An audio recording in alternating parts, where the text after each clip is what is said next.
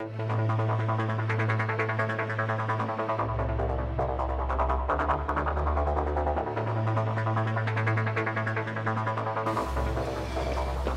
guys, time for part 5 of the blog. As you can see, not in the garage today. Uh, we're around at Neil's uh, place uh, doing some work on his kart. Um, good news is, what you're going to see about now is how he's started it first time as well. Who can believe it? Well, I, yeah, you know, good good people at hand. So here, let's have a look at starting, have a listen to what they actually sound like running. How's that? That's good. Can you get in there? Yeah. So when you're ready, I'm ready. is it is it in gear?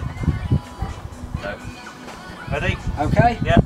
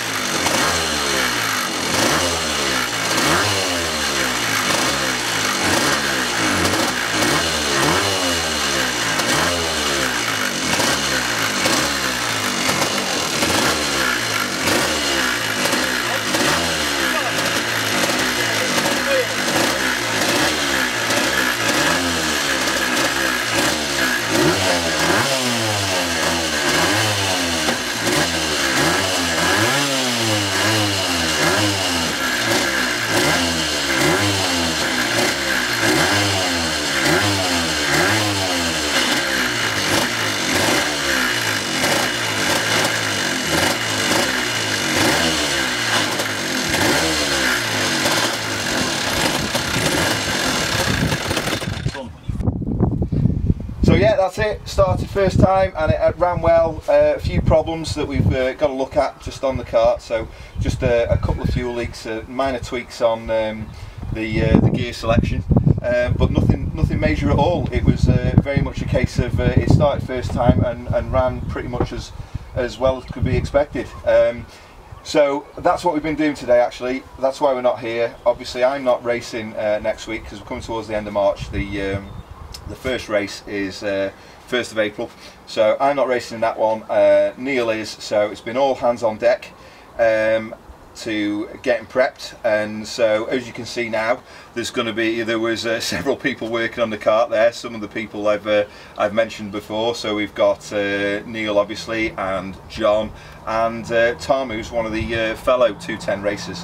So we, uh, we've all been mucking in today to try and get him um, get him ready to go next week, and we are pretty much there. So it's been um, it's been a really really good day so far. As I say, a couple things left to do.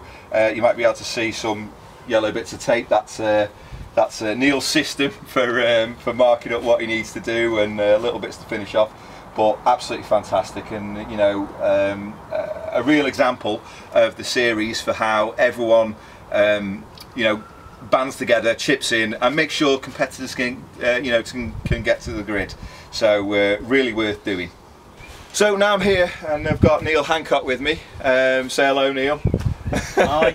So this is his car, and uh, we're just going to go through a bit about it. So this, uh, a little bit of details. So why don't you take us through it, Neil? Uh, start off. What chassis is it? What modifications have you done, and, and how the whole thing, how the whole thing works? Right, so basically it's a 2001 Yeah. um, Anderson AK. Yeah, Um, it's been totally rebuilt by John Morris over Yeah. the um, over the winter. Two Yeah. weeks ago, or just over two weeks ago, it was a bare chassis. yeah, Um, so a lot of work, obviously, John's put into it, and uh, yeah, the last two or three days have been a bit hectic in, in pulling it all together. But as you've seen, it's Yeah. it's now running and it's manageable. Two or three hours, and it'll be ready to go. excellent, excellent. So what what special features have you got in the kart then? So you know what what parts would you would you not likely see, or, or bits that you found that have uh, or, or suit your style? Would you say? Okay, so obviously modified the pedals slightly to Okay. bring them slightly further back.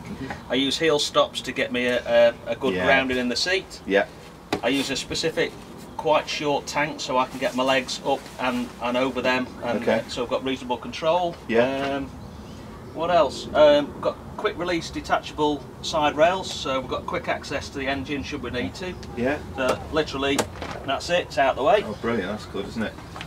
Um, yeah, same with the chain guard. Chain Yeah. guard pulls off uh, fairly quickly. Okay. That's pretty much it. Yeah, and I think it's important to say, isn't it? These these quick release features that you've added uh, are crucial as part of the whole maintaining the car on the race day. They come with experience. So you learn what, what you need access to. Uh, yeah, so I can get right up to it now Yeah. rather than yeah. Yeah. I mean, it, and it's and, and, and that's part of that's part of the race day, isn't it? So you, you're always going to have to be, you know, you can't just expect to, um, you know, the kart's going to be absolutely full. So, I mean, it might be, but I mean, yeah. you've got to expect the odd t- bit of tinkering, haven't you? Two-stroke engine. Yeah. Um, and constantly tweaking the tuning to get the best out of it. So Yeah. you're constantly fiddling with them. Absolutely, absolutely.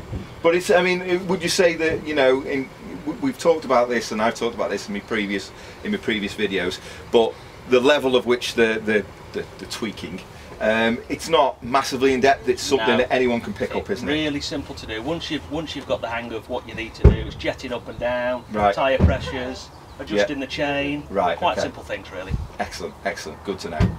Okay, I know I said about um, all the maintenance and the uh, skills required to set up and drive these karts, but I believe there's an alternative option, isn't there, Neil? Absolutely. I mean, for me, to start with, I was very much hands off, and Yeah. it, was really an, arri- an arrive and drive scenario uh, with John supporting me actually, um, and that option is is still there. So there are opportunities for people just literally to pay for, turn up, and somebody will manage the kart for you. So the car, Excellent. engine, everything will be sorted for you. Yeah. Um, that's an option for people who haven't got the skill set, Yeah. to do that from the outset.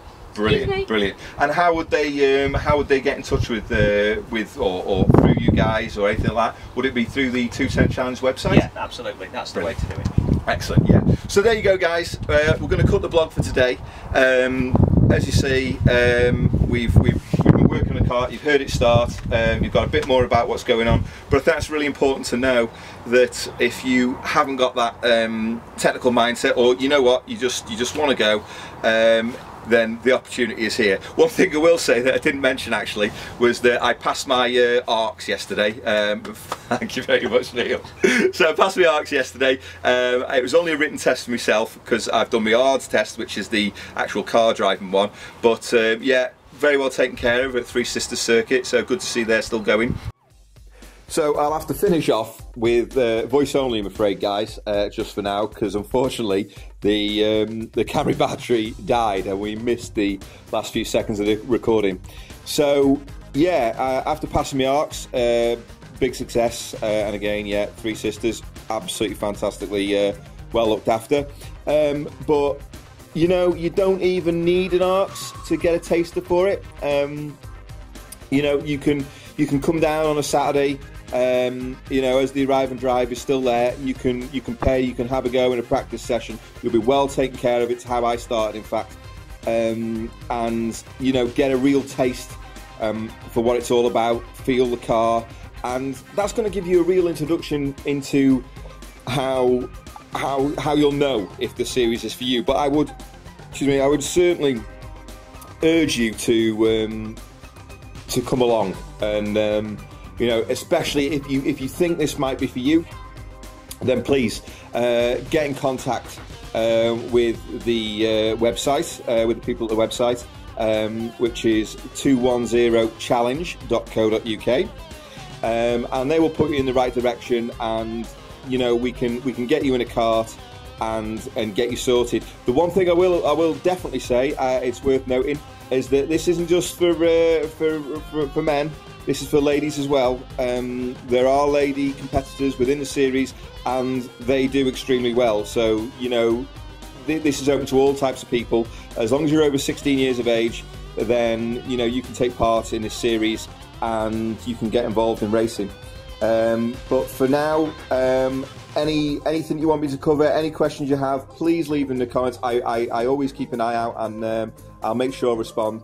But um, next week is the big one. We'll be at Rissington and it will be time for the first race of the season. So expect lots of footage uh, interviews and um, details on, on how the race is, what the race goes, and, and what's involved.